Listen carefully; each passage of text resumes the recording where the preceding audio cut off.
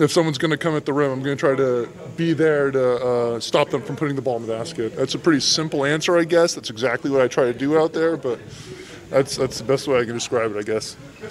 Nine blocks for Brook Lopez. Yeah, and I wanted him to give the ball to a kid on the after that rebound and just let him shoot a layup and block it. Oh, that's a thought. So I was hoping, yeah, sacrifice the turnover Yeah, for a worth it. potential block. And I think the, if you gave it to one of them, they would have been so shocked by it, they would have tried to shoot it really quick and he would have blocked it. He hosted a block party. Everybody was invited. Um, I told him his thing's Splash Mountain, and I always tell him before the game, like, make it rain, different types of condensation. I said make it snow because it was snowing outside. I didn't realize he was going to have a block party in the snow. Man, Brooks times the ball so well to be able to alter a shot, let alone block a shot. But how he has been blocking shots this year has been amazing. So um, we always have a chance with Brook out there.